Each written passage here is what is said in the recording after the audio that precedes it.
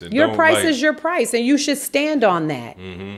Why should you, you know, be? If you don't want to negotiate, okay, well, you can find somebody else to do it, but it's not going to get done. This is what I what I noticed. You could pay somebody else to do it, but what I noticed because I've, you know, my lawn man got hemmed up a little bit. Yeah.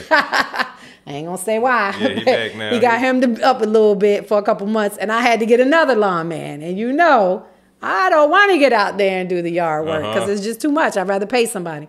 But I had a half-ass lawn man, so I always pay him what he's what he tells me. Oh, so the the replacement lawn man that you were using for some time wasn't doing a good. Oh my god, he was horrible.